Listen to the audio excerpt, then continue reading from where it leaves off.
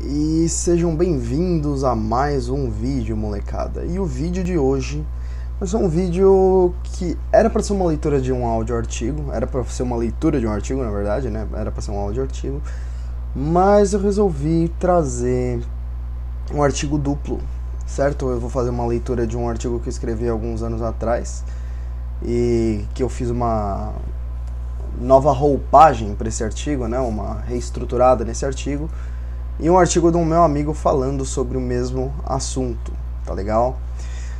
Porque aí vai ser um vídeo que não vai estar tá preso a ser um áudio artigo, mas é mais um bate-papo geral sobre um legal que eu comprei uma lapela para evitar ruído externo e aí aparece um, uma daquelas motos com escapamento aberto que esse filha da puta coloca pra enfim, eu não, eu não vou ficar puto. Eu não vou ficar puto. Se bem que já, já, é um tema, já é um tema que me deixa puto. Mas, vamos lá. Hoje a gente vai falar de politicamente correto, beleza? Tem dois artigos. Um texto antigo que eu escrevi chamado Anatomia do Politicamente Correto. Né, que não é bem um artigo, a rigor. É mais um texto é, em que eu estava lendo um livro do Hayek, O Caminho da Servidão em que ele colocou um certo contexto para explicar o politicamente correto. Caramba, o, motoqueiro na moca aqui, nenhum tem escapamento. É impressionante, mano. Que, e todo mundo dá grau na moto. Mas enfim, é, voltando para a questão aqui.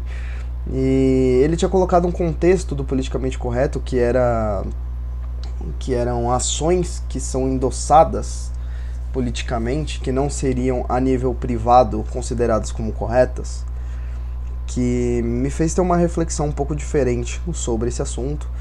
É, cheguei a fazer algumas pesquisas a respeito disso, né? E também o Bastiat fala disso, né? Que ele fala da expoliação legal, que a expoliação legal seria um crime na esfera privada, mas que na esfera política ele é visto como redistribuição, né? O fato de você tomar a propriedade de alguém usando o aparato legal do Estado, o próprio imposto é isso, na verdade, né? Unilateralmente, para passar para outra pessoa, seja o político ou seja a pessoa que recebe o, o dinheiro da expoliação, certo? Então, assim, a análise do politicamente correto do Hayek nesse livro, ela é muito parecida com essa ideia de serem ações que normalmente seriam vistas como incorretas, mas num contexto político se tornam corretas. É claro que o meu foco foi especialmente o politicamente correto como um instrumento de censura, mas nesse contexto mais geral do que dessa definição do que é politicamente correto. Né? Então vamos lá. É, a anatomia do politicamente correto. Esse vai ser o primeiro artigo que a gente vai ler, de minha autoria, que está tam também no meu Medium. Eu vou colocar o link dos dois artigos na descrição, tá? Há aproximadamente um ano e meio atrás, quando eu escrevi essa versão, né? Redigiu um texto a respeito do conceito popularmente conhecido como politicamente correto. Este texto foi repostado no blog qual participo ativamente da redação, Gazeta Libertária, está no link aqui no, no, no meu Medium. E, como eu temia, o texto apresenta algumas problemáticas. Na verdade, quando eu escrevi, quando eu redigi esse texto pela segunda vez, que esse daí, nossa, tô com meu nariz está coçando. É, quando eu redigi, redigi esse texto pela segunda vez, eu cheguei a perceber que tinha algumas coisas erradas, mas tinham coisas que eu já tinha corrigido, tá? Então algumas dessas problemáticas elas já foram anteriormente retiradas, tá? Uma delas foi minha redação que, devido à perda de prática na época, carecia de rigor em minha linha de raciocínio, também na construção de redação algumas tecnicalidades chatinhas, o que tornou o texto confuso em algumas partes. Outra problemática é que tem alguns textos, só fazendo mais um paralelo que eu, que eu escrevo, que eles são Frankensteins, que às vezes eu coloco uma linha de raciocínio dentro de uma linha de raciocínio. Como eu faço isso? Eu escrevo o texto e depois eu remendo ele colocando mais coisa, né? E aí às vezes fica com, com como eu sempre reclamo, né? Às vezes quando eu tô lendo, eu falo, pô, tá com um erro de concordância numeral, né? Às vezes eu não eu nem reviso meu próprio texto, né? E aí quando eu vou ler, eu, eu acabo me autocorrigindo, né? Então, tem alguns probleminhas às vezes quando eu vou fazer esses textos meio Frankenstein, meio remendado, tem uma parte disso, uma parte daquilo. Né? Então ele ficou meio confuso e aí esse texto foi meio que uma reroupagem. Não que esse texto seja uma grande coisa, tá, gente? Não esperem que seja uma grande coisa. Esse é um texto que foi uma, uma tentativa de aplicar um conceito de um livro ao politicamente correto, né? Foi um dos meus primeiros textos, então ele não tá com o rigor que vocês conhecem que eu tenho, tá? Não é um texto tão bom assim. Outra problemática se refere às acusações infundadas que careciam de fontes bibliográficas ao final do texto. Portanto, faço meia-culpa e, para quem esperava que fosse pesquisar as fontes para embasar essas acusações, sinto dizer que retiro minhas palavras, pois ataques pessoais são falácias genéticas que pouco agregam discussão e blá blá blá blá blá blá blá blá blá. Tá. É, é relevante. Isto posto, começaremos agora um inquérito a respeito do mais socialmente aceito instrumento de censura da modernidade. E parafraseando o artista e humorista esquerdista conhecido como MS Barney, da ODR, é melhor deixar um idiota como Bolsonaro ter a liberdade de expressão para proferir seus absurdos, né? Eu vou te falar que envelheceu muito bem esse texto. E todos terem certeza de sua idiotice, com exceção de alguns lunáticos, os poucos que ainda seguem ele, né? Eu acredito que seja uma minoria barulhenta, do que censurá-lo e torná-lo um mártir, né? Como a facada também tornou ele um mártir, né? De certa forma. Me chama a atenção um fenômeno denominado politicamente correto, um conceito pós-moderno que busca controlar o que pode ser dito de acordo com seu potencial ofensivo, sendo que ofensa é algo completamente subjetivo, tá? Não completamente, existe algumas coisas que são proferidas com o telos, com o objetivo de ofender uma pessoa, e isso dá pra gente saber, né? Dá pra gente perceber a intenção em alguns casos da pessoa ofender uma pessoa específica, tanto ataques direcionados como entonação, etc. Certo? Mas, é claro, a recepção da ofensa para alguém se sentir ofendido, isso depende totalmente do receptor da mensagem. Entende? Então você pode até mesmo interpretar algo que não tem absolutamente nada a ver com uma coisa direcionada à sua pessoa ou a uma característica sua como faziam os memes antigamente, né, de politicamente correto dar um copo d'água pode se tornar ofensivo, você pode interpretar de uma forma que seja ofensiva para você. Entende? Então existe um grande grau de subjetividade na questão da ofensa, certo? Mas é claro que tem pessoas que realmente atacam pessoas diretamente. O bullying também é uma forma de perseguição, certo? Mas a ofensa de maneira geral com o que as outras pessoas falam tem um grande grau de subjetividade, tá certo? Em maior grau, né? É subjetivo. Então vamos lá. É... Neste artigo usarei o um método de análise e síntese para elucidar o assunto com melhor precisão. Então, no texto original dá pra ver que eu tava tão. Nossa, eu tô... tava começando a ler, sabe? Parei, tinha parado de ler, eu lia só livro de, de narrativa, de ficção. E aí eu comecei a ler Descartes, comecei a ler o Hayek, aí eu falei, não, que eu vou fazer um método cartesiano, como se fosse grande coisa também, né? um negócio que a gente sempre usa também, desde, desde a escola até, até na faculdade, mas enfim, né? fazer um método cartesiano aqui de análise e síntese, grande merda. É, iniciando pela definição que dei no texto original, como definido em Hayek, por Hayek no Caminho da Servidão, politicamente correto se refere a algo que é correto inserido em um contexto político, de forma que, caso não estivesse inserido em tal contexto, seria socialmente repreensível. Isso ocorre porque o comportamento é sustentado por uma autoridade. No texto original, apesar de perder a linha de raciocínio, usei corretamente o, exemplo do experimento de Milgram, que basicamente consistia em uma simulação de tortura, na qual concluiu-se que a propensão dos participantes do experimento a torturar uma pessoa anônima era maior se fossem influenciados por uma autoridade.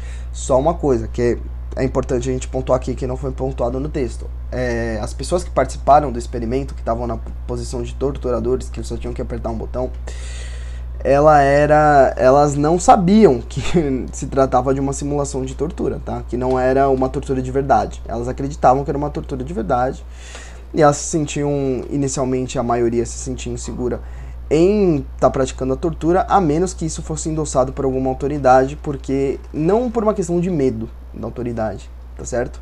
Era mais uma orientação. Então era mais questão de sentir confiança na autoridade, né? A gente é suscetível a ser influenciado por autoridades, tanto autoridades é, no sentido da força também, mas principalmente autoridades de pessoas que a gente acreditam que estar mais capacitadas certo? Então a gente acaba seguindo, nós seguimos muita tendência.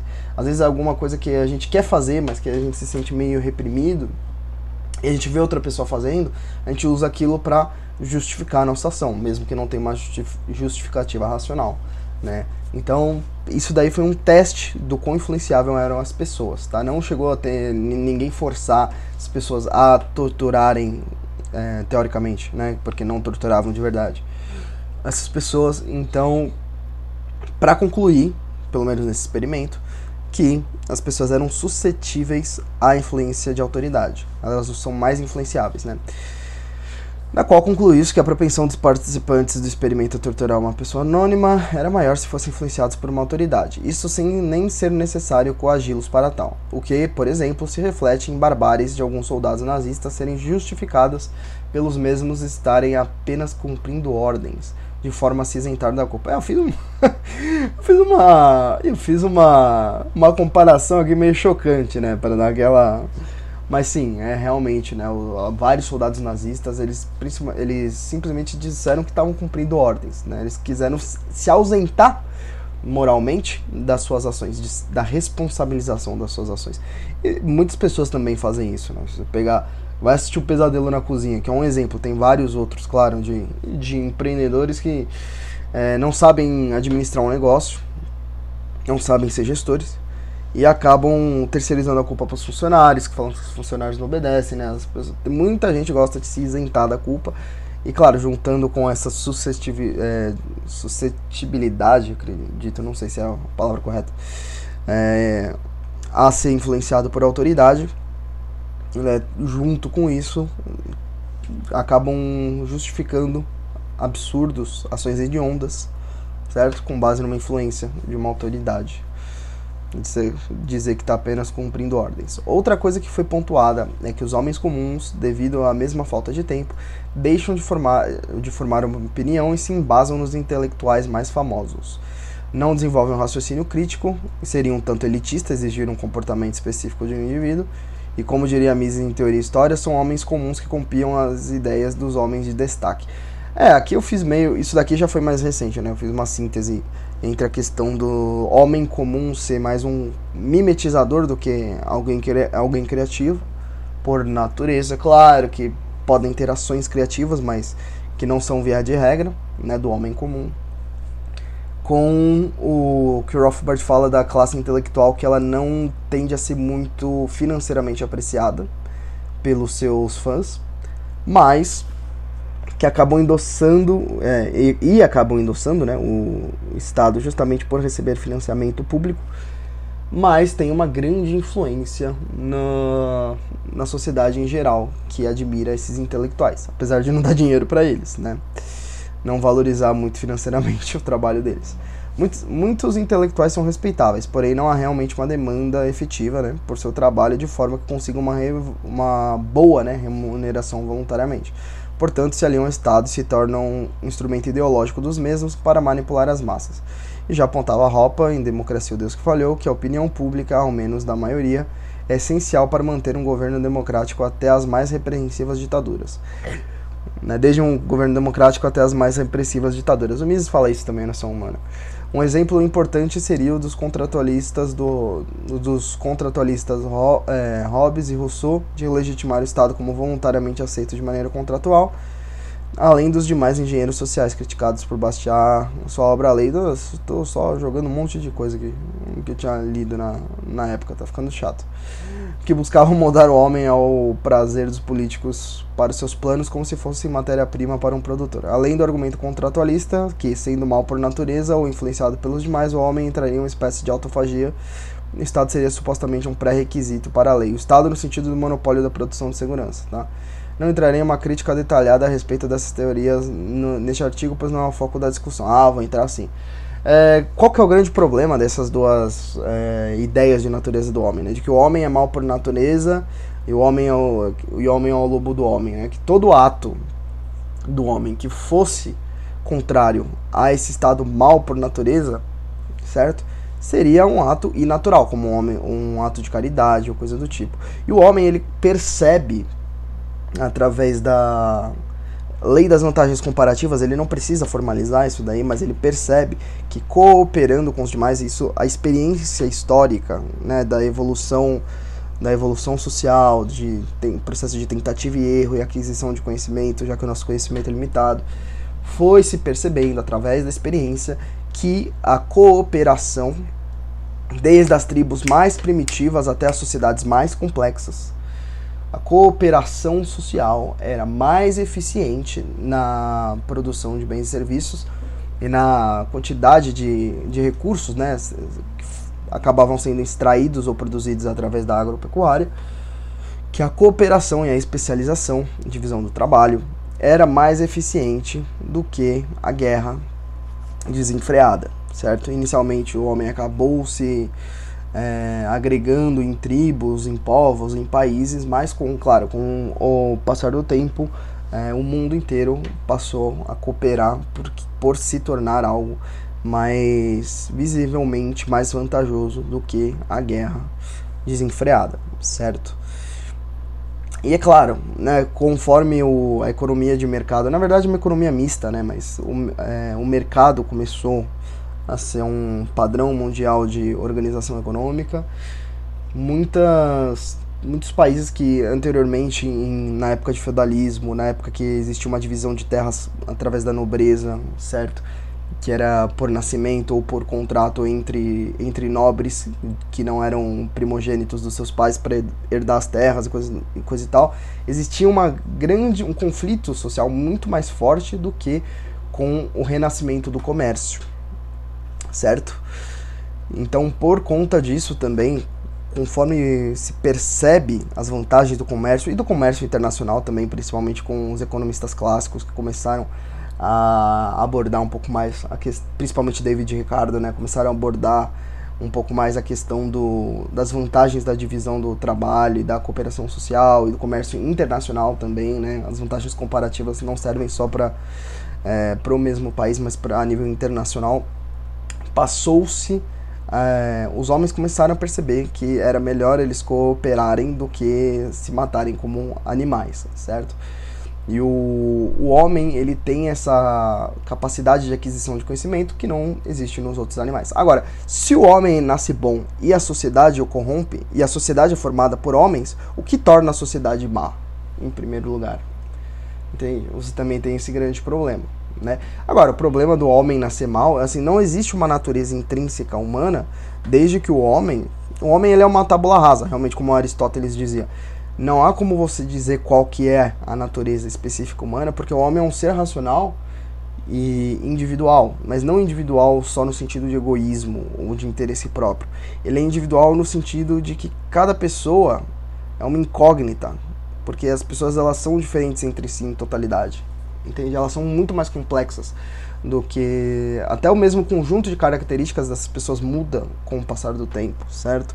Muitas pessoas são similares, isso é verdade. Nós não somos tão, não somos tão únicos assim, mas ainda assim nós somos individuais. Nós somos, é, não existe uma totalidade de um, um indivíduo em sua totalidade na raça humana que seja completamente igual ao outro, nem mesmo irmãos gêmeos, certo? Não existe uma mentalidade que seja que abranja toda a existência do ser humano, todo todo o ser que é um, um indivíduo humano, entende? Existem similaridades, mas não existe uma exatidão assim, não existe uma Ai, caramba, me fugiu a palavra agora. Não existe uma igualdade é, em termos do, do, da ontologia do ser humano, certo? Eu não, eu não sinto que eu consegui explicar isso de uma maneira satisfatória, tá? Depois, se vocês quiserem discutir isso no, nos comentários, a gente pode. Talvez eu consiga traduzir em palavras melhores. É, mas enfim, uh, não entrarei na crítica, entrei na crítica, me desculpem tendo entendido o trabalho dos intelectuais, como eles se relacionam com o politicamente correto. Bem, os justiceiros sociais buscam apontar, devido à evidência histórica de relações hegemônicas como escravidão, violações de autopropriedade, isso daqui dá uma treta para explicar. É, não vou entrar em, em ética roupiana e ética libertária. E também a questão, a questão da autopropriedade não ser uma, um conjunto contido em si mesmo, digamos assim, que você pertence a você como um conjunto pertenceria a ele mesmo, não é nesse sentido especificamente. É que a propriedade, na realidade, é uma norma relacionada à limitação do emprego da matéria escassa. Tá certo? E como a matéria do seu corpo, independente se você é o seu corpo, ou se você é uma dualidade entre seu corpo e sua mente, sua mente e a sua alma, ou, qual, ou qualquer outra coisa, é mais uma questão da normatividade relacionada à limitação do recurso que é que o torna possível de conflitos. Ah, meu corpo é um recurso, não sei o quê. É que o seu corpo ele é uma matéria escassa, cuja alocação no espaço-tempo é fisicamente limitada para fins mutuamente exclusivos. É, é algo muito. É uma piração muito difícil de, de explicar agora. Mas eu já cheguei a explicar isso no curso de microeconomia. Se não me engano, não sei se foi no de bens públicos ou de, no de externalidades. Então, assim, é, é, um pouco, é um pouco difícil de explicar isso daqui. Mas, enfim, a autopropriedade, ela não, ela não pressupõe um dualismo, certo? Ela é mais relacionada a uma norma que deriva de uma limitação, tá certo?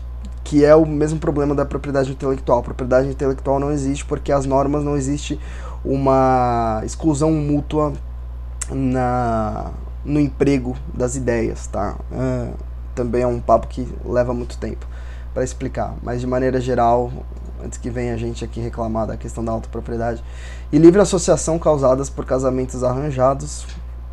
Tá, tô falando aqui questão de relações hegemônicas, tá?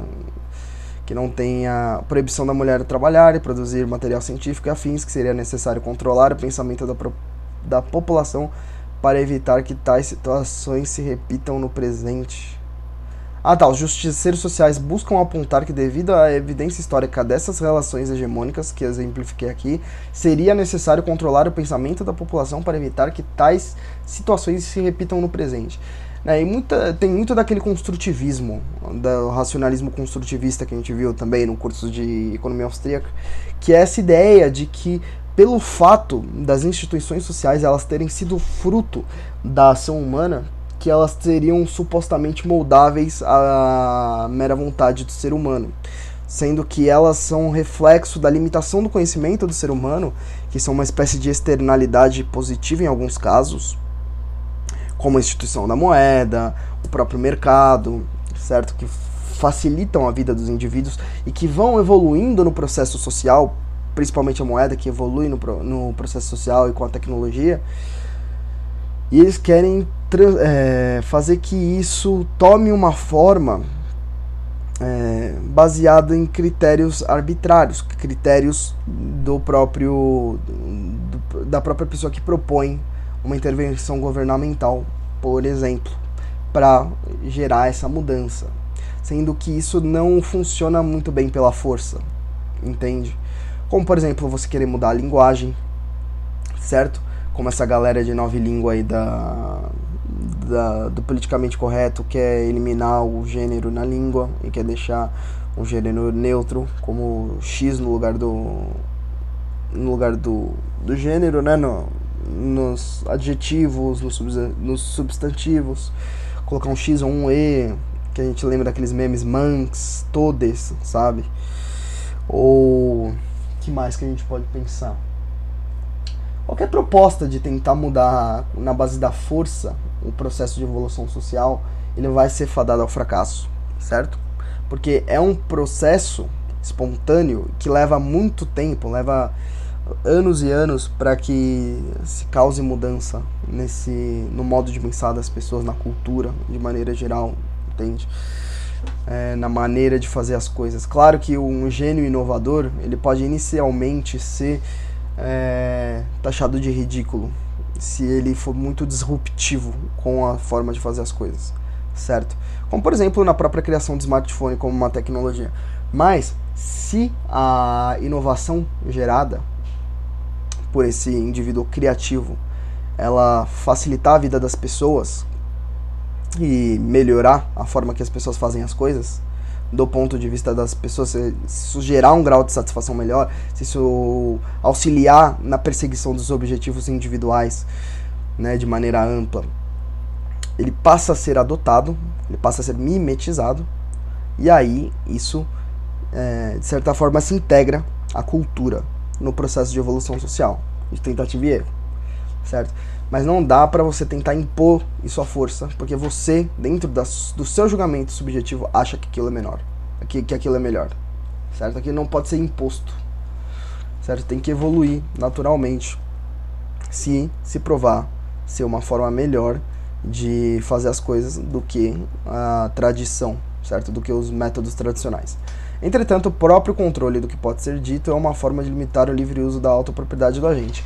Certas ressalvas devem ser feitas aqui, pessoal, porque é o seguinte: o, a livre expressão não existe uma livre expressão restrita, ela é restrita à propriedade privada, ou seja, depende do ambiente em que você está inserido tá certo? Eu, por exemplo, pode falar, posso falar que na minha casa ninguém pode falar bem do comunismo. Claro que eu não, eu não, eu não seria tão fechado à discussão ao ponto de fazer isso, porque eu gosto de discutir, eu gosto de argumentar, eu gosto de usar razão, certo? Mas é uma hipótese, certo? Só pra gente entender um pouco.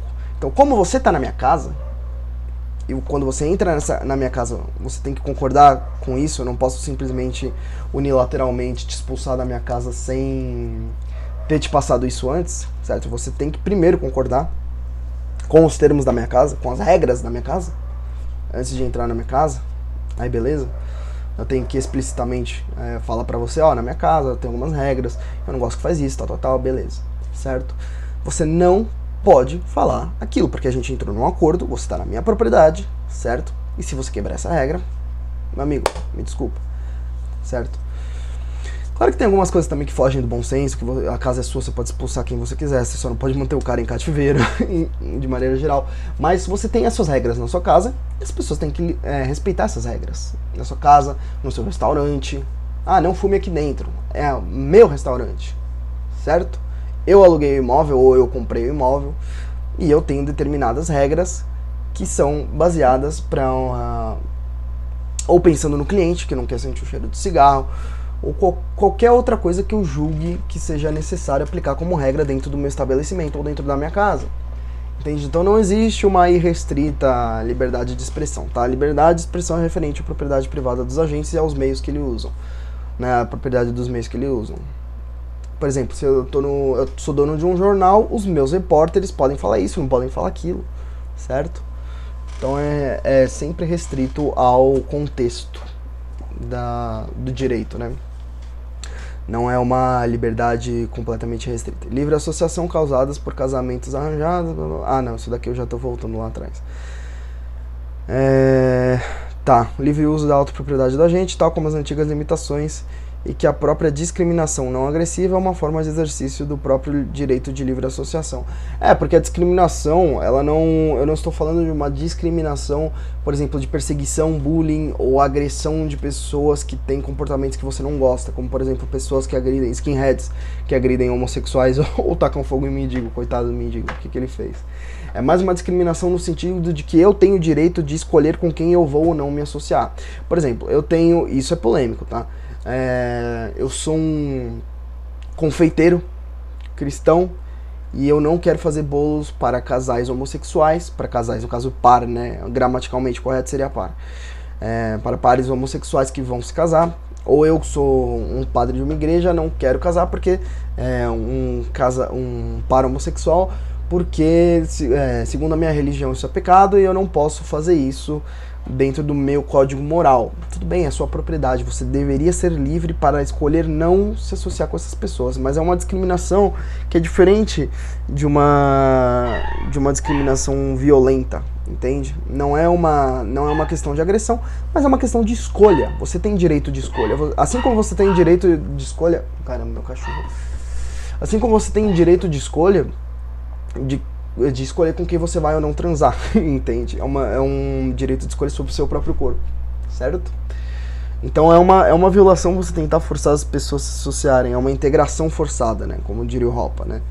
Entre pessoas que não se dão bem, certo? Então não é, não é certo você tirar o direito de, da discriminação não agressiva, não violenta, certo?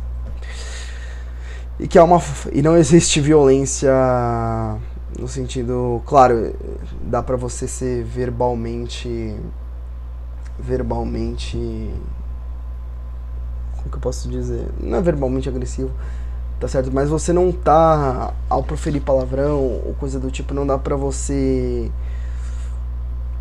agredir uma pessoa no sentido de violação do, do direito dela meramente com, com palavras até daria se você fosse mandante de um crime, certo? Como você, por exemplo, ah, eu, é, eu vou caluniar uma pessoa induzindo as pessoas a matarem ela ou agredirem essa pessoa ou coisa do tipo. Aí sim, realmente é uma forma de incitar a violência e você está indiretamente levando, induzindo as pessoas a cometer um crime. Aí já não é uma questão de expressão, já é uma questão, como eu falei, é restrita sempre à propriedade privada. Então você está violando a autopropriedade da pessoa, né, você tá fazendo essa pessoa ser agredida, coisa do tipo, mas não tem como você violar simplesmente dizendo algo para a pessoa, tipo, ah, você é um merda.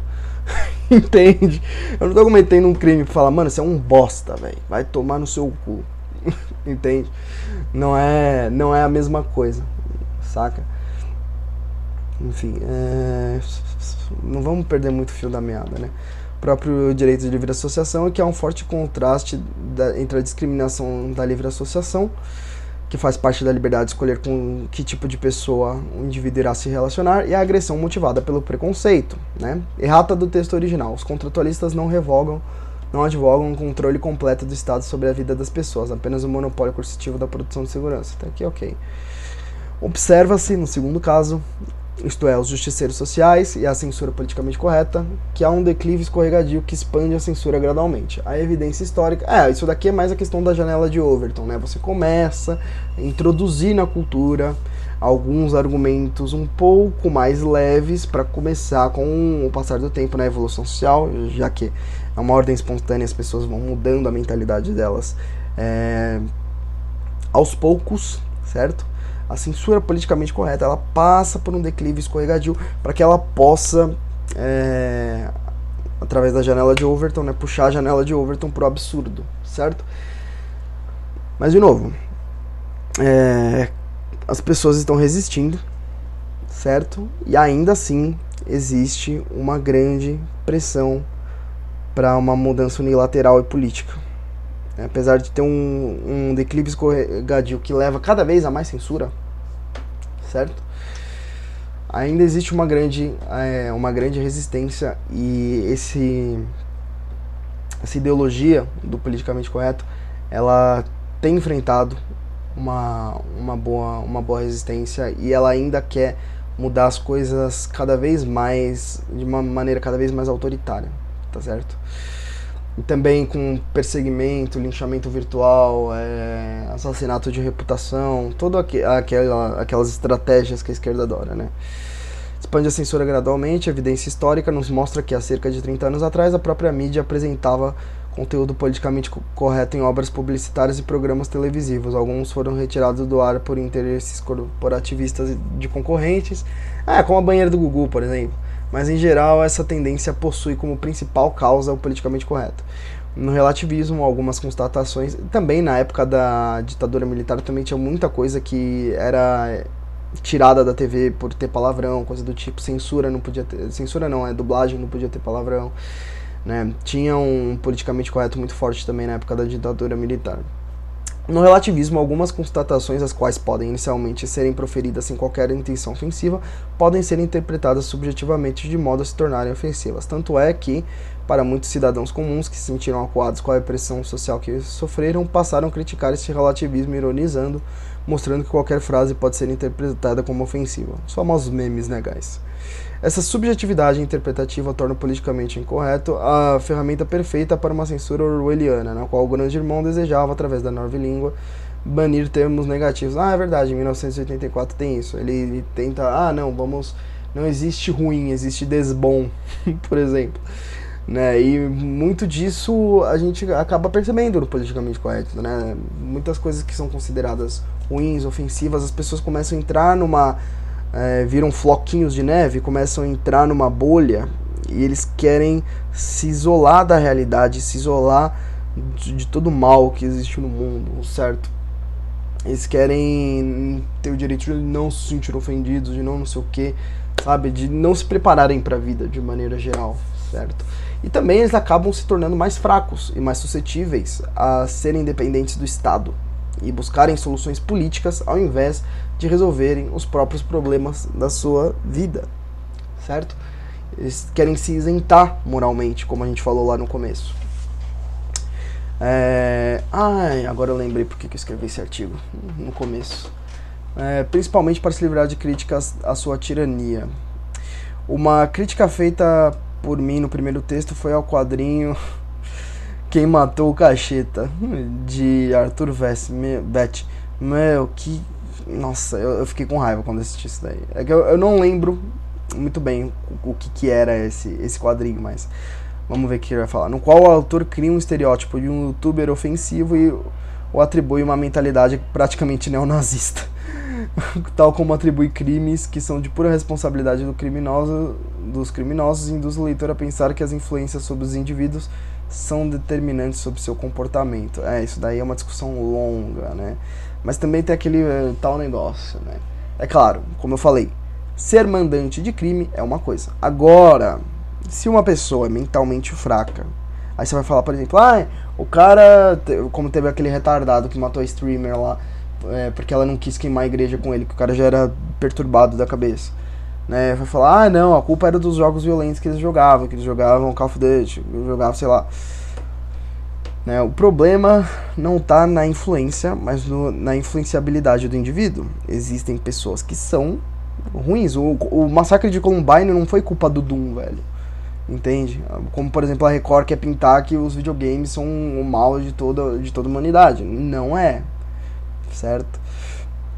Não existe uma determinação rígida do comportamento dos indivíduos. Certo? Cada pessoa, algumas pessoas são mais influenciáveis que as outras, isso é óbvio, né? Mas cada pessoa, ela, primeiro, se, se associa a vários grupos, muda a sua forma de pensar ao longo do tempo, tá certo? Conforme ela vai adquirindo conhecimento, conforme ela simplesmente muda as preferências dela, né? Então não tem como a gente dizer, isso a gente já falou, né, na aula de, de na aula numa das aulas introdutórias aí do princípios de economia austríaca, que não tem como você dizer, é, você apelar para um determinismo coletivista do comportamento dos indivíduos, né? Porque isso daí é, é praticamente auto-evidente que é falso, certo? Você também está de novo terceirizando a responsabilidade dessas pessoas, né? Como Hayek criticou Galbraith, cabe ao indivíduo decidir quais influências são predominantes em seu comportamento. Bom, a gente já falou isso na aula, se quiserem mais detalhes, tem aí, é, acho que a aula sobre conhecimento eu falo sobre isso, e na aula de introdução que eu falo sobre a ontologia do objeto de estudo das ciências sociais, que é a sociedade. Né, se existe uma ontologia holística ou se ela é uma farsa. Este quadrinho faz o mesmo papel intelectual de atribuir ao humor negro e ao conservadorismo moral, que sofreu mudanças com o passar dos anos e se tornou, ao invés de um inimigo da liberdade individual, um exercício da mesma pela livre associação, reflexo de um amadurecimento social, como Ropa denomina de processo civilizatório, principalmente marcado pelo amadurecimento econômico, redução da preferência temporal média, Toda a responsabilidade pelos comportamentos agressivos de pessoas mal intencionadas são atribuídas a esse conservadorismo moral e ao humor negro, de acordo com esse HQ. A cultura ocidental e os valores conservadores de poupança, provisão para as futuras gerações, trabalho, comportamentos não libertinos ou é, hedonistas, né, que incentivam o consumo e destruição de riqueza, brincadeiras limitadas unicamente pelo contexto social, que fazem parte do livre uso da propriedade sobre o corpo, sem violar a propriedade de outrem, sob alteração não consensual. E também, cara, eu acredito que é necessário muito bom senso para fazer esse tipo de piada, né? Até se você estiver dentro de um dentro de uma empresa na qual o patrão, via de regra, ele vai é, prezar pelo bem-estar dos seus funcionários para que eles possam produzir mais e melhor, ele não vai querer que um, que um funcionário se sinta via de regra. É claro que existem patrões que são retardados. Ele vai querer que um, criar um mal-estar entre os funcionários, tá certo? Então é sempre bom usar o bom senso também nesse tipo de brincadeira, né? Talvez se fosse para estabelecer algum limite para o humor, seria o bom senso. E seria a questão do contexto. Algo que eu não tenho muito, né? Mas, mas assim, ao meu ver, é se existe algum limite para o humor, seria esse, seria o bom senso e a questão do contexto. E afins são cada vez mais objetos de espantalho e ridicularização sem embasamento argumentativo. Peraí que eu me perdi agora. É, brincadeiras limitadas é, unicamente ao contexto social e afins são cada vez mais objetos de espantalhos e ridicularização sem embasamento sem argumentativo, pois os principais argumentos decorrem de conclusões que não necessariamente implicam em dupla causalidade, tal como é apontado. Dupla causalidade, eu estou falando que é um nexo causal necessário, tá? De que necessariamente é, A segue, é, B segue de A, entendeu? A logo B, que seria a causa única, certo? A causa única de B seria A. Além disso, é amplamente aceita, exceto pela ortodoxia econômica e pela maioria dos economistas como um todo, e economicamente falsa teoria da exploração, tanto de Marx quanto de Rodberto, bababá, foda-se, né? Mais valia. Fez com que muitos grupos sociais que são naturalmente reprimidos pelas pessoas por comportamento adverso como criminosos são, por exemplo, tratados como vítimas sociais isentadas em certo grau da culpa de seus atos, à medida em que o Estado desarma, o Estado desarma os indivíduos para defesa contra criminosos e do próprio Estado como instituição expoliadora. Cara, o que é genial, né, velho? É que a atribuição moral, de moralidade mesmo, aos objetos é, é absurda. É, mesmo que você fale, ah, não, a única, o único propósito, da, o único efeito que uma arma pode gerar é um assassinato. É, sendo que você pode usar a arma para caçar, usar num stand de tiro, usar para qualquer coisa. Ela dispara um projétil, certo? Usar meramente para ameaça, numa autodefesa, não, não implica que, ah, eu dei um tiro matei uma pessoa. Não, não é assim que as coisas funcionam. É, e a, o assassinato em si, ele não é uma ação propositada no meio, não é a arma em si que mata, cacete. É a porra do indivíduo que usa o objeto. É a mesma coisa que você disser que você engordou porque o garfo comeu. Ou coisa do tipo, não faz sentido. É igual aquele livro do Theodore Dalrymple, A Faca Entrou. Não é eu matei, a faca entrou saca? Você está atribuindo uma moralidade, de novo, é sempre essa ideia, ah, terceirização moral, certo? A culpa dos assassinatos é a existência de meios para isso. Não é. É a existência de pessoas que matam. De pessoas que têm parâmetros morais duvidosos, que não ligam para a ética. E aí? Para matar uma pessoa, eu posso pegar qualquer instrumento, velho. Posso pegar um, uma faca de cozinha. O assassinato não é culpa da arma. A arma também é um instrumento de defesa. Porque um ataque ou ameaça de ataque também é um instrumento de defesa, até para neutralizar uma ameaça. Se uma pessoa vai te matar e você mata ela, não um manslaughter, que é matar com mais do que necessário para neutralizar a ameaça, ou é, atacar a pessoa mais do que necessário para neutralizar a ameaça, que às vezes nem precisa matar o ser humano. Né? É, o próprio ataque acaba sendo uma forma de legítima defesa, certo? E não é um assassinato.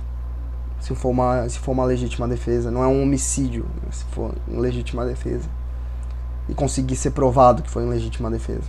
Então assim, é muito complicado você atribuir a moralidade, ter essa terceirização moral para os objetos, porque os objetos eles são inanimados.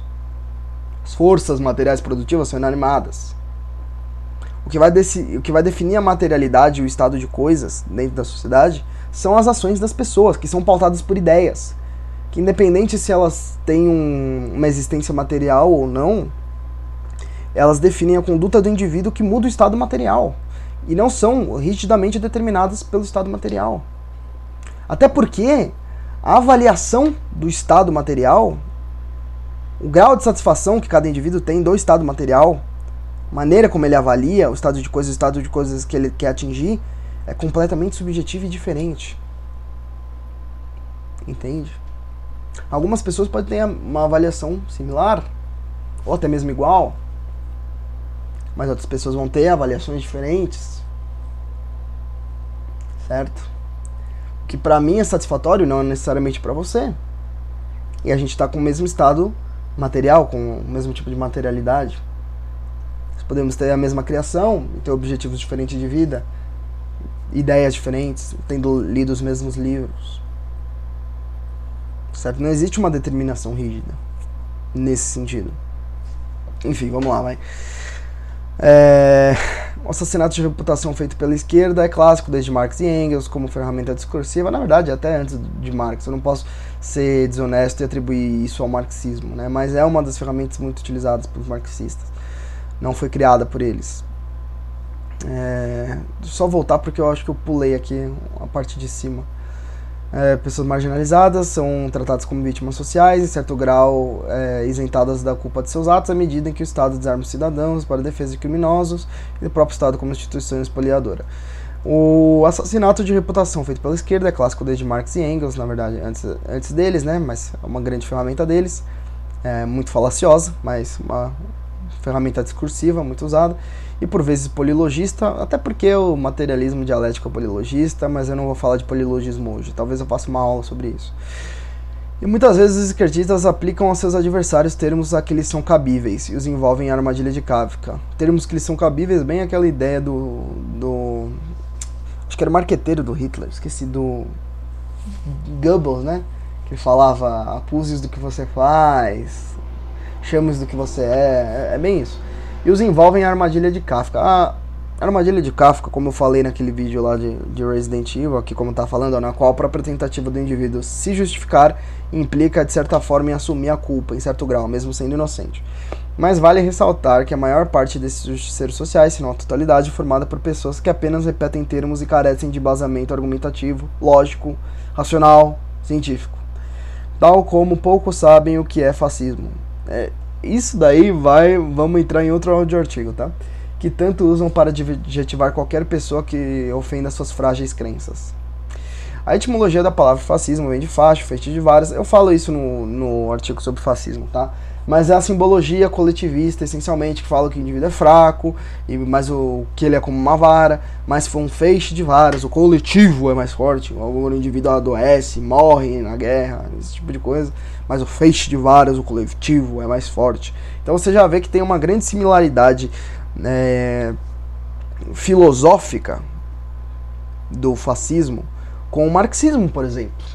Pois é, os, ambos são coletivistas, ambos tratam a sociedade como uma maçaroca, um, um holismo, certo? Uma visão holista, uma visão de classe, muito mais que uma visão de, de indivíduo, certo? O indivíduo é fraco, agora o coletivo ele deve ser enaltecido, certo?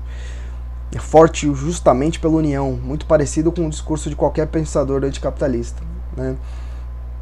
Assim como suas políticas heterodoxas se encaixam perfeitamente no tipo, é, no tipo perfeito chamado por Europa, tipo ideal, né? De socialismo do conservadorismo e nacional desenvolvimentismo, ou a Volkswirtschaft do, do Mises, né? É uma visão nacionalista, chauvinista, completamente oposta ao internacionalismo liberal clássico ou com regionalismo secessionista, anti-unionista, paleolibertário. Olha quantas palavras, cara. Eu virei um esquerdista agora, é impressionante como eu, gostei de adjetivar.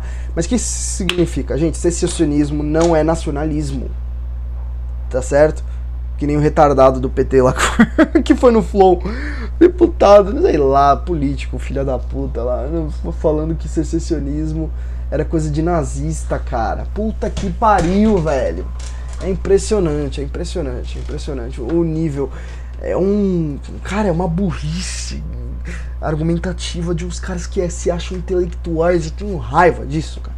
Tenho raiva disso. Que o cara acha que ele tá dando um argumento foda, mas tá cheio de inconsistência e um monte de espantalho nojento, velho.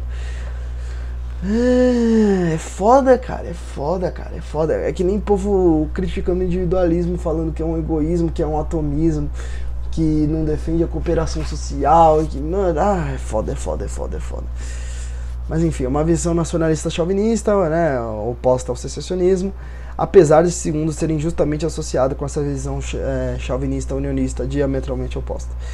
É, o material didático regulamentado pelo Estado também flexiona as definições para atender a conveniência política, como a definição de fascismo, como um totalitarismo nacionalista preconceituoso com minorias, sem qualquer definição filosoficamente mais aprofundada.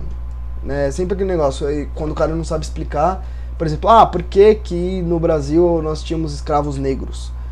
Ah, aí o professor quer que a gente dê um monte de resposta preconceituosa, ah, é porque os negros eram mais fortes, não sei o quê. Fala, então professor, se não era nenhuma dessas opções, o que que era? Fala, ah, não sei. simplesmente ocorreu na história, entende? Mas na verdade a escravidão negra foi reflexo de guerras tribais e escravidão por guerras que as tribos dominantes vendiam os escravos das tribos derrotadas para outros países, principalmente países europeus, que aplicavam mão de obra escrava nas suas colônias. Então assim, tem uma explicação. Só que quando é o negro oprimindo o negro, aí não cai bem para pro discurso da esquerda do professor de história. Então o que, que ele vai fazer? Eu falo, ah, não sei, não sei, não consigo explicar. Não consigo explicar sem pegar mal para mim. Então assim, pois é, né, meu amigo? Não, não, não é foda, né? Não contribui para sua narrativa. Na verdade, contribui pro contrário da sua narrativa. Simplesmente não sabe explicar, né? Tal como a prolixa linguagem de Marx é desmascarada na obra Marx e Satã. É, nada a ver. Isso daqui eu tô batendo em Marx gratuitamente. Hum, tô sendo desonesto aqui. Cartas a seu pai, Heinrich Marx, demonstrando que mesmo busca confundir as palavras. Ah, lembra né, que tem aquela, aquela frase dele: Ah, eu confundo as palavras em confusão demoníaca que cada um pode pensar o que quiser pensar. Né? Mas ele é prolixo, mas não tem. Assim, conteúdo econômico é, é muito fraco, cara. É muito fraco. É muito fraco é, fala, fala e não, e não, quer dizer nada. Em, em, boa parte do que ele fala de materialidade, não sei o que, se você fizer uma análise econômica, praxeológica, você, você destrói em dois palitos. Sem usar toda aquela terminologia desnecessariamente prolixa. É coisa de, mal de alemão, né? É o Hoppe, é o Kant, é o Hegel, é o Marx. É mal de alemão. É, para que cada um possa perceber qualquer tipo de ideia, por mais contraditória que seja. Os justiceiros sociais confundem subvertem o significado de cada palavra e tornam todos sujeitos à censura. É, entra muito naquela questão da falácia dos quatro termos, né? Você nunca tem uma definição precisa, e aí você coloca dois termos que às vezes são até contraditórios no mesmo símbolo lógico, né? Então, assim, é, é bem mesma duas semânticas ao mesmo símbolo lógico. É sempre aquela ideia para te confundir mesmo e para encaixar tudo dentro da, da ideologia. Boa parte das redistribuições é justificada por revanchismo histórico, vantagens naturais de alguns indivíduos em relação a esses grupos de pressão, pregam liberdades individuais, mas buscam tolher a liberdade individual alheia e prejudicá-los e obter vantagens políticas em nome da igualdade de oportunidades. Isso é para ser bem polêmico, cara, liberdade econômica e liberdade individual, elas são essencial, elas têm a mesma essência. São essencialmente a mesma coisa.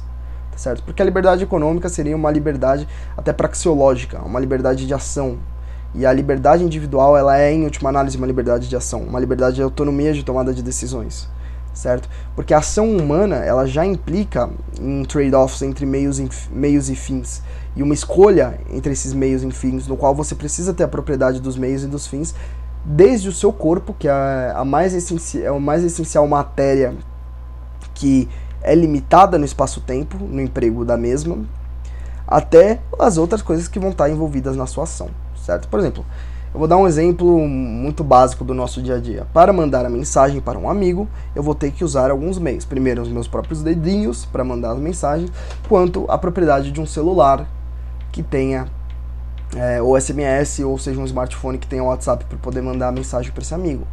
E aí também vou estar usando alguns meios que não são escassos, como o WhatsApp, que é um software, certo? Que é um programa lógico replicável que se copia e que não e que para uma pessoa é, usar, ela não vai estar tá tolindo o uso de outra pessoa, certo? Então, você utiliza meios para chegar nos seus objetivos. Por exemplo, ah, e aí eu também vou estar tá utilizando a linguagem, que também é um meio não escasso, pelo qual eu vou estar tá transmitindo uma informação. Então, o meu telos vai ser transmitir uma informação para ajudar meu amigo com algum objetivo dele, por exemplo, certo? Então, você tem que ter essa liberdade e essa liberdade ela é proveniente da propriedade, da autopropriedade da propriedade dos bens que você precisa para sua ação, que você vai apropriar originalmente ou obter de outra pessoa, para que você possa agir, tomar suas decisões. Entende? E tudo que envolve essa matéria escassa, essa limitação que não permite você ter duas coisas ao mesmo tempo, ela todas as ações humanas envolvem isso, pelo menos minimamente, no seu tempo que você aloca o seu corpo, certo? Então existe essa necessidade da liberdade econômica no sentido de uma liberdade mesmo praxeológica, uma liberdade de alocar suas coisas, de tomar suas decisões, cuidar da sua vida, basicamente. Certo? Então elas são, em essência, a mesma coisa. A matéria, a origem material da limitação material é a mesma, certo? Essa origem dessa autonomia, entende? Há um duplo pensar a respeito de suas próprias bandeiras supostamente libertárias à medida em que há um trade-off entre liberdade e igualdade. Eu cheguei a falar isso também em aula. É, o direito público do sistema republicano democrático e a positivação de literalmente qualquer norma que possua interesse político de aprovação, como, como lei, são um perigoso mecanismo jurídico que pode trazer a realidade da censura generalizada no atual sistema de governo. A chamada representatividade também é ilusória a partir do momento em que o indivíduo desconhece as pessoas as quais supostamente o representa, por representar uma característica ou conjunto limitado de características em comum, visto que todo indivíduo é único em sua totalidade de características. Não se pode representar perfeitamente o interesse de cada uma delas em sua totalidade de características e julgamento de valores individuais, tanto na mídia quanto politicamente mas apesar disso pode favorecer um grupo às custas de outros. Pela própria lógica democrática, dividir para conquistar, visto que os recursos poliados são escassos e tem que vir de alguma origem, certo? É, e, a e a expoliação causa revolta em suas vítimas. É necessário justificar a expoliação de uma minoria pela maioria. A teoria da exploração é ótima para isso e é extremamente útil à medida em que grupos mais ricos possuem mais recursos para serem redistribuídos e são minoritários, e, portanto, sua revolta possui menor força e a maioria é beneficiada pela expoliação legal. A divisão, e é, em alguns ricos também acreditam na justiça social. A divisão dos poderes, ou que o imposto é legítimo também. A divisão dos poderes também é ilusória à medida em que o poder pode ser separado entre indivíduos que o detêm, mas são parte das mesmas da mesma instituição. Né? A separação dos poderes, mas você está falando da mesma instituição, e aí você vai falar que você vai julgar uma pessoa de determinada instituição em um órgão da mesma instituição que ela faz parte. É um, um pouco ilusório achar que essa pessoa vai ser condenada. Né? Mas essa questão da redistribuição também, ela é até certo ponto, porque ela gera um desincentivo econômico que faz que você tenha um, uma fuga de capitais e também não só fuga de capitais para outros países, como também você tem uma, um desincentivo à produção, que causa uma queda de produção, diminui a renda real, enfim, tem várias implicações econômicas nisso daí. Em síntese, a justifica justificativa intelectual, por mais falha que seja, influencia as massas, de modo que cada vez mais se aceite a censura como algo socialmente. Se aceite a censura como socialmente aceitável. Pouca redundância aqui, mas enfim utilizando a janela de Overton do politicamente correto, isto é, tornar a censura correta através da inserção do contexto político. Ainda há focos de resistência, principalmente nos contextos sociais de maior atividade econômica, como mercado de capitais, mas é de suma importância ter um arcabouço teórico para destruir e ridicularizar teorias falsas. Para que nem todos precisem ser especialistas em filosofia, basta uma elite intelectual para defender liberdade e destruir teorias falsas através do rigor argumentativo e analítico tal como o pensamento crítico a respeito de qualquer informação que é recebida. É, esse artigo não é tão grande coisa, mas vamos finalizar. Ó, já tem quase uma hora de leitura, cara. E segundo aqui o, o Medium, esse artigo do meu amigo leva 5 minutos para ser lido. Eu não vou tentar fazer muita, muita pontuação nesse sentido, tá? Mas vamos continuar aqui. Meu amigo Carlos Secantes. É, Kant, politicamente correto, e a liberdade de prezar pelo bem. Esse vai ser um vídeo bem longo, né? Manuel Kant foi um filósofo prussiano, ou seja, da Rússia, assim como Marx. Da Rússia não, caralho. Prussiano, Rússia. É, caramba. Prússia era uma das províncias que deu origem à Alemanha, caralho. Rússia e Alemanha, né? Lado a lado, mesma coisa. Nascido em Königsberg, atual Kaliningrado, Rússia. No dia 22 de abril de 1724. Ah, atualmente é Rússia e é considerado grande par, por grande parte da comunidade filosófica e política como o principal filósofo da era moderna. Concordo.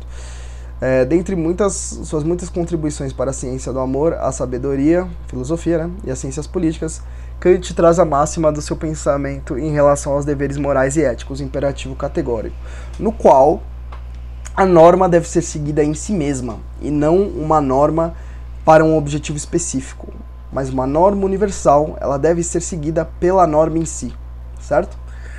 Ao contrário do imperativo hipotético, que para obter fim, para obter fim X você deve recorrer ao meio Y, certo? Essa concepção filosófica do criticismo kantiano é retratada na seguinte passagem do seu livro Fundamentação da Metafísica dos Costumes. Um livro bem difícil, tá, gente? Eu também admito que eu ainda quebro muita cabeça para ler Kant. Age como se a máxima de atuação fosse para ser transformada através da tua vontade em uma lei universal da natureza. Ou seja, haja de forma que a sua ação poderia ser uma lei universal, que poderia valer para todas as pessoas sem gerar caos na sociedade, certo? Logo, o imperativo categórico deveria ser o dever que todo indivíduo possui de agir conforme princípios que o mesmo consideraria frutífero caso fossem conduzidos por todos os seres humanos. E aí, boa parte da moral cristã é justificada racionalmente com isso daqui, tá? Odiernamente, racionalmente no sentido que você não justifica pela, te, pela teologia, mas pela, pela lógica, pela, pela razão científica. Odiernamente, com o foco principal na análise política, deparamos-nos com uma concepção de análise de conhecimentos que denominamos de politicamente correto. Este termo é utilizado para descrever linguagens ou atos que devem ser evadidos por serem enxergados como excludentes ou ofensivos. Em tese, este termo se refere à censura de ideias e ações que marginalizam e soltam grupos desfavorecidos, sobretudo aqueles definidos por gêneros, raça ou preferências sexuais. Aqui eu vou fazer uma leve discordância terminológica, eu estou sendo politicamente correto, quem diria, né? Mas enfim, não existe raça propriamente dita. É, um, é mais um rigor, um rigor científico. Não existe sub-raça humana. Na verdade, o que existe são etnias, certo? Existem diferenças é, secundárias de características estéticas, mas não existem é, diferenças substanciais para que existam, por exemplo, sub-raças humanas, como existem sub-raças de cachorros, certo? Todos são da raça humana, existem diferentes etnias, certo? mas sou eu sendo chato apenas.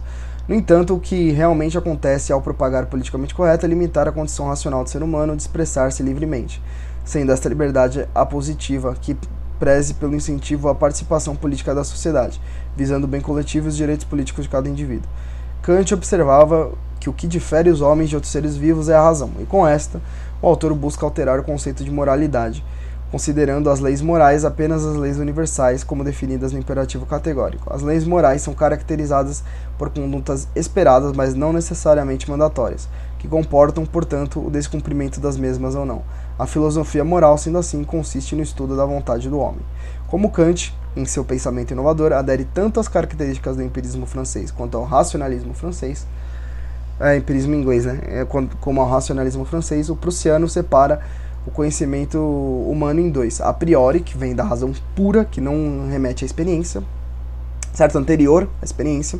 E a posteriori, que é a empiria, que vem após a experiência, ex post facto, certo? Ex post facto. Logo, empirista. A moral, segundo o filósofo, é a priorística e serve para investigarmos, ou seja, a priorística significa que ela não é contingente, mas ela é universal. Para ela ser universal, ela necessariamente, necessidade e universalidade são a priori, ela é necessariamente racional. Ela não depende da experiência e não depende da, do contexto específico, certo? Opa! Opa, opa, opa, opa, opa, opa. Derrubei o celular aqui. É, e do contexto específico. Voltando. Serve para investigarmos a gênese dos princípios práticos que residem na razão. A metafísica dos costumes seria então o estudo das leis que regulam o comportamento e a conduta sob uma visão particularmente racional, sem contaminação empírica. Então, qual a ligação entre a filosofia moral kantiana e a prática do politicamente correto pela sociedade? Claramente de divergência. Até porque o politicamente correto nesse caso seria um imperativo hipotético, porque você tem uma normatividade relativa a um fim específico que não é uh, universalmente aplicável, certo? Que não seria produtivo, né, se fosse universalmente aplicável.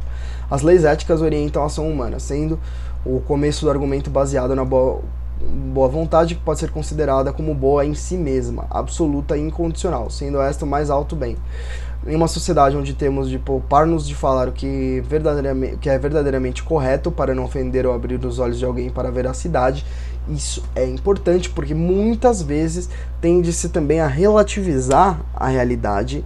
Até quando você tem, por exemplo, vai é, transexual lutando em categoria feminina e descendo a porrada em mulher, sendo que existe uma tendência natural a ter uma uma certa vantagem muscular no sexo masculino em relação ao sexo feminino, certo? Então, como o cara ele tem hormônios masculinos, por mais que ele tenha feito a operação e seja um transexual operado, ele tem hormônios masculinos, ele tem essa vantagem sobre as mulheres e é basicamente uma agressão de uma, de uma mulher por um homem, certo?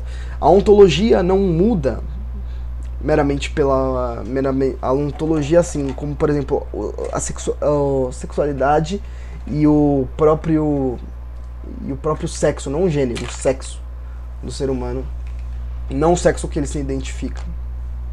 Ela não vai mudar a ontologia, o corpo dele, o funcionamento do corpo dele não vai mudar meramente porque ele se identifica como algo diferente. Entende? Então não dá para você mudar as coisas meramente tratando como se elas não fossem o que elas são. Entende? A ontologia, ela você pode mudar o estado material através da produção, através do, do serviço, de maneira geral, mas as coisas não vão mudar só porque você não aceita a maneira que elas são. Você que tem que adaptar a sua conduta à realidade. E não a realidade que tem que se dobrar à sua vontade. Entende? Então, isso é um grande problema também de, alguma, de alguns movimentos politicamente corretos. A moral não se aplica nesse caso. Tá? As pessoas devem encarar o mundo com seriedade e não devem privar-se de falar aquilo que é correto e justo, por mais ofensivo que isto possa ser para algumas pessoas. Lembrando, não é algo universal. Esse é o grande problema. Um dos, né? Politicamente correto limita a influência da boa vontade humana. Kant propõe a diferença entre cumprir determinada lei por dever e cumprir conforme ao conforme ao dever. Devemos citar eh, situações exemplo, como conservar a vida é um dever e uma inclinação cultural e natural. Por isso os homens dedicam-lhe um cuidado exagerado. Agem então conforme o dever, mas não por dever. Se, porém, a vida é infeliz, mesmo desejando a morte, conserva a vida sem amor, não por inclinação ou medo, mas por dever. Então, sua máxima tem um conteúdo moral. Perceba que no parágrafo anterior, Kant desmistifica e vai contra a concepção contemporânea de suicídio justificado e assistido, comumente defendido pelo politicamente correto, na eutanásia, por exemplo. Em uma outra situação, podemos supor o seguinte: suponha que um homem está morrendo de fome, porém não possui capital monetário para comprar comida. Nessa situação, ao andar pela cidade, vê um homem que detém alta quantidade de dinheiro, primeiro assalta o segundo.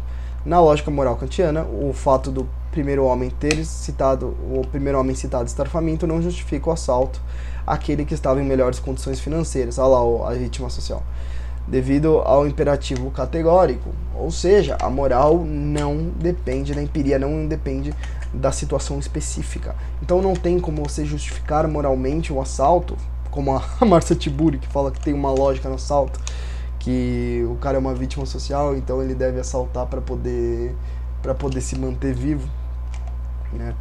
O assalto ele é errado em si, ele não deve ser ele não deve ser justificado de, ele não é justificável de forma alguma porque ele é um imperativo hipotético não categórico. É, aqui a própria filosofia kantiana já acaba com isso logo de logo de cara. A ação do a ação do assaltante de forma alguma deveria ser vista como uma lei universal da natureza. Logo essa é ilegítima moralmente. A grande verdade é que o politicamente correto limita o debate e, suas, e as ações no meio, poli, no meio público por não visar a transmissão da famigerada verdade nua e crua. O fato que devemos falar apenas o que é conveniente aos ouvintes é moralmente equivocado. O imperativo categórico não deriva seu poder de nenhuma autoridade ou pessoa, apenas da razão pura. Ao final, o que temos hoje para os praticantes do politicamente correto seria apenas uma defesa tendenciosa e simétrica do conceito de liberdade de expressão. Só é verdade e moralmente correto aquilo que me agrada, e aquilo que me ofende pessoalmente deve ser evitado e proibido é basicamente ser um ditadorzinho em potencial. Se o indivíduo não possui mais a liberdade de falar a verdade do a doer, ele não será mais capaz de raciocinar, algo que ofende profundamente e veemente o criticismo kantiano. É, você não consegue buscar a verdade se você tem limitações do que você pode falar ou não, é, baseado no que uma pessoa pode se sentir em relação a isso, pode se sentir mal em relação a isso, certo? Logo, podemos observar os equívocos do politicamente correto no seguinte: a livre propagação de informações e a defesa do que é moralmente correto é fundamental para o progresso de uma sociedade positivamente livre. A partir do momento que se quer problematizar qualquer ação que vá contra a sua individualidade, seja pela vontade de tirar a própria vida, de justificar o roubo ou assassinato, na qual o cidadão se desculpa por achar que o assaltante ou assassino é uma suposta vítima da sociedade. Boa, Carlos. Neutralizar um conceito como de gênero, masculino ou feminino, ou acreditar na dívida histórica do racismo, estimulando ainda mais o preconceito racial. É claro, é mais um revanchismo do que uma busca por igualdade. Além de outros escrúpulos ideológicos e ações que são, assim como citados, encarados como normais, caem na principal crítica kantiana, o imperativo hipotético, exato também conhecido como utilitarismo. Este consiste na busca pelo prazer sem encarar a realidade. Se quero X, devo fazer Y, como eu falei agora há pouco. A crítica de Kant ao utilitarismo não está na sua está então na sua falta de máximas morais que não são seguidas independente das preferências pessoais. Concluindo finalmente, redundância aqui, hein? Não existe concepção relativa de certo e errado. Nisto, Kant é preciso, assim como os gregos, quanto à relativização da beleza. Não deveriam existir práticas de sanções morais a discursos contrários ao seu, pois a moral, segundo Kant, é advinda da razão pura e pela qual nós todos devemos guiar nossas ações, prezando sempre pelo bem coletivo, universal e civil, e crendo na máxima da universalização da moral e das liberdades positivas em geral. É isso aí.